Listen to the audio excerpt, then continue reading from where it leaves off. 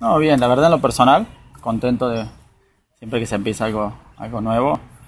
Obviamente vuelves recargado, con ganas de siempre revertir lo que realmente pasó.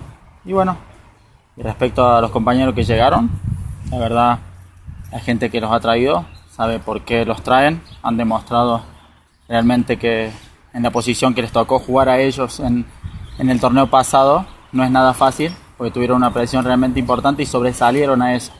Por eso creo que se merecen esta oportunidad y la verdad que muy bien, bienvenidos ellos. A Marcelo ya lo conocía, yo había estado en Teco con él y deseándole el mejor de los éxitos que, que nos van a hacer mucha falta. En ese sentido, eh, ¿qué opinión te merece bueno, que Marcelo ha tenido la mala suerte de descender con los dos equipos universitarios con los que estuvo antes? ¿no? Este sería su tercer equipo universitario. Sí, pero no descender, ¿eh?